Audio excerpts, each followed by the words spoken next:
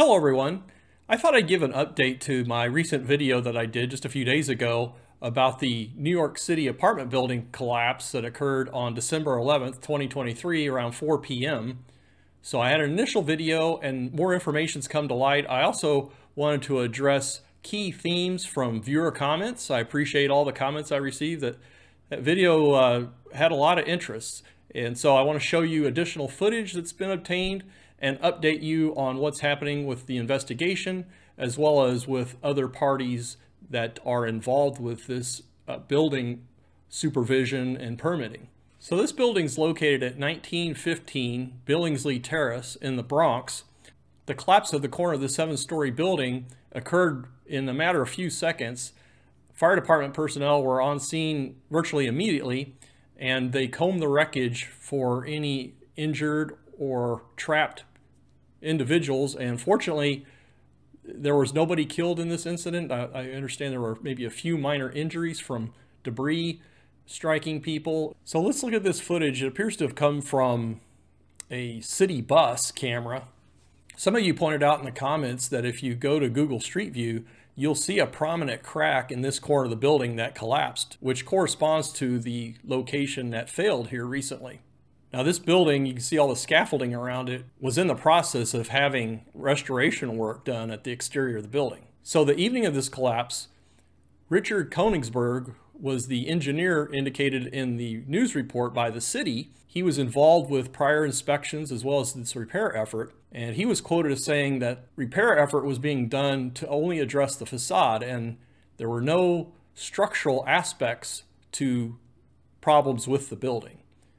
And he suspected an issue with the columns that was unrelated to his work on the building.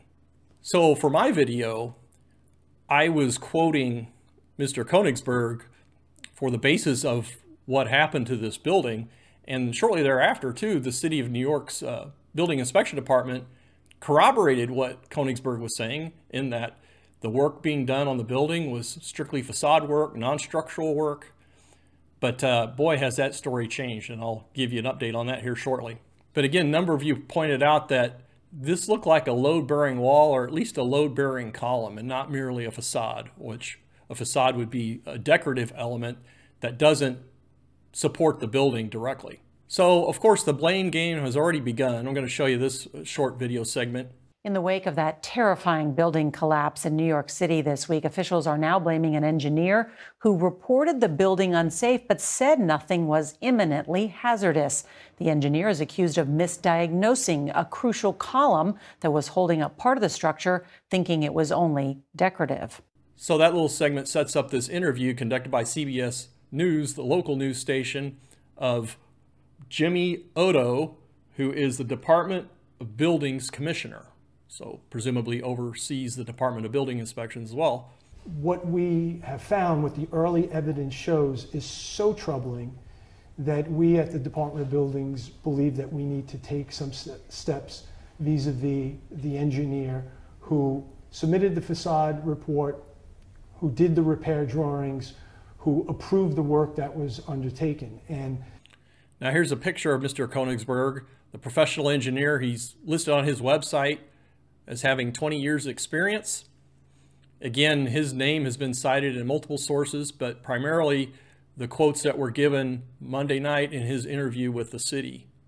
All right, here's the next clip that shows the city's basis for their rush to judgment. Video that our sister agencies uh, have obtained showing work at that pier on that day. And that work included removing uh, bricks from that pier. And that work was predicated on a fundamental, a basic, but crucial and catastrophic mistake. And that was believing that that pier was decorative and not load bearing. So, again, I want to read to you an excerpt from this Monday interview by this news outlet with uh, Richard Konigsberg.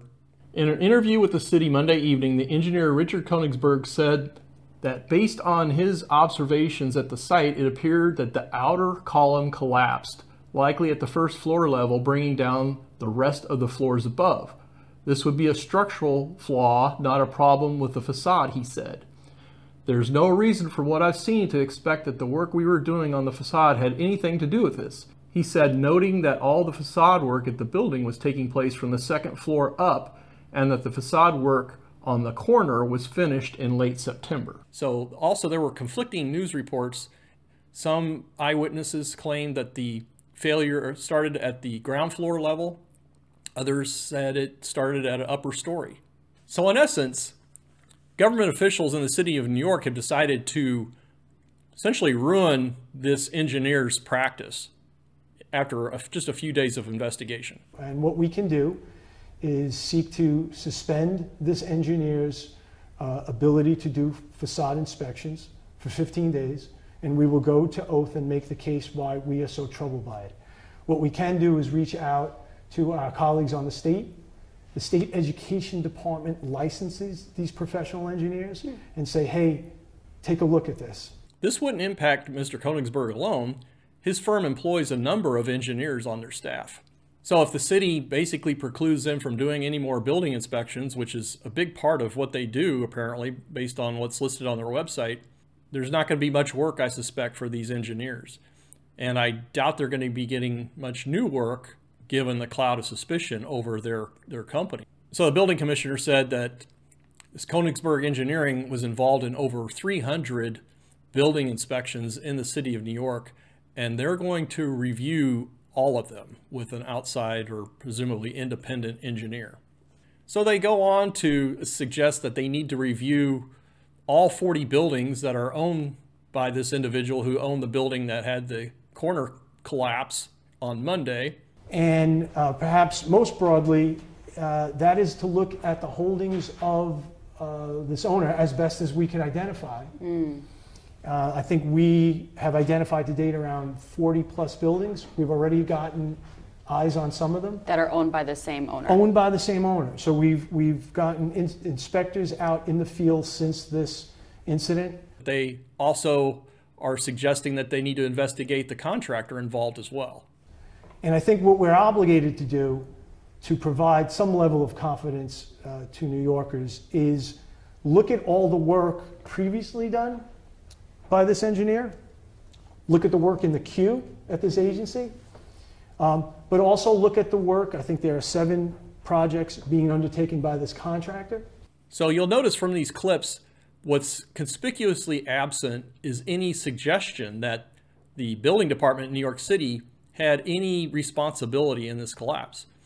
News reports indicated that there were a number of building citations issued by the Department of Building Inspections for damage to this building.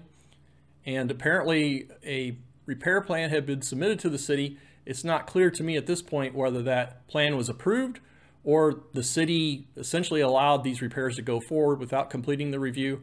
I'm not clear on that point, but what is clear is that the city has pointed the finger at everyone involved with this project except the building department officials. That just shows you how quickly these situations become political. And again, I, I can't stress it enough that how early on we are in, the best, in this investigation, and, and folks have a right to due process, um, and these investigations can go on for weeks and months.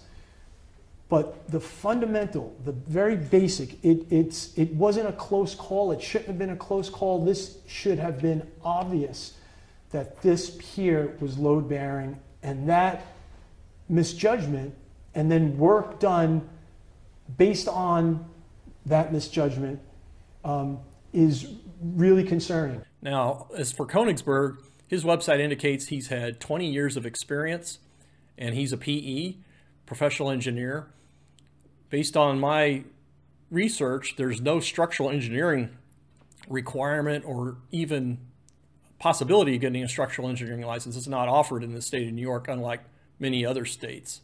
So again, government officials are jumping all over this engineer with both feet. I'm not suggesting that he's blameless here. I'm suggesting that, you know, the city's talking out of both sides of their mouth. They're talking about a uh, due process that could take weeks or months, and at the same time looking to revoke his ability to inspect buildings in the city of New York. And uh, they also appear to be wanting to file a complaint with the state licensing authority to presumably revoke his statewide license. Now contrast this with the Surfside collapse from a few years ago in Florida. There was a structural engineer, not just a professional engineer, but a licensed structural engineer in the state of Florida who conducted a building inspection and noted structural damage in the building.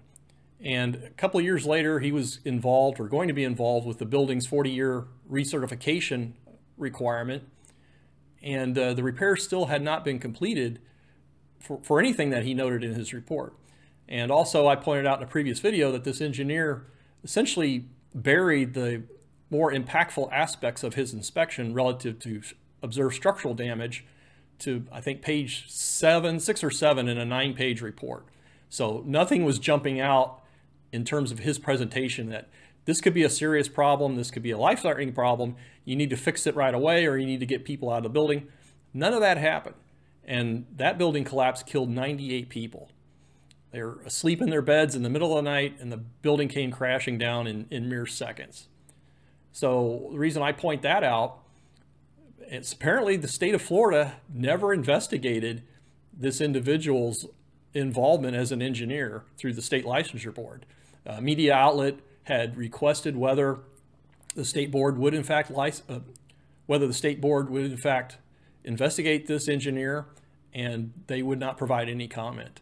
And in my research, I haven't found anything that would indicate that this engineer involved with the Surfside collapse uh, suffered any enforcement action or investigation as a result.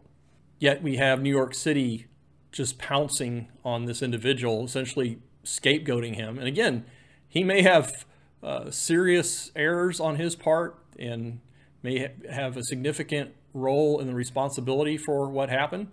I'm not suggesting otherwise, but I'm also saying an investigation hasn't been completed.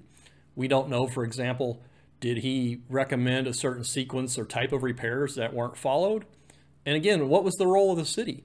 I mean, does the city allow, allow people to just do repairs willy-nilly? Uh, you know, the building uh, commissioner points out that it was so obvious that this was structural damage. Well, where was the city? I mean, this crack appeared in Google Street View. It looks like a very old crack. I don't know when the Street View image was, but it was some time before this collapse. Certainly someone with the city could have noticed this and done something about it. So again, let me know your thoughts about all this. You know, I've done a number of videos about major collapses involving bridges and buildings. And the common theme is that the engineer is almost held to account exclusively even though these are typically system-wide issues involving contractors, design engineers, building officials, and, and others. And yet, uh, you know, as a professional engineer, you got the you got the target on your back because you have a tremendous responsibility to society to get this stuff right. Well, thanks for watching, everyone. If you'd like to check out my list of the major civil engineering disasters for the last 100 years, there's a link in the description. Also, we're offering channel memberships to those who would like to further support the channel. Again, I appreciate all the comments and interaction. The, the uh, membership is just another way to support the channel. And thanks for watching, everyone. Please stay tuned for future videos.